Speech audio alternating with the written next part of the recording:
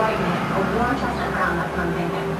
Cut. Let's bring it up here and give it some layers. We're going to bring it forward a little bit. It's going to be beautiful. And make us keep it really natural, some glossy, with some digging. A little bit. Now, never look at her eyelash. Perfect. She has to enter like seven. I have to roll my out. Take a hot boy. Let's start with color. Ready?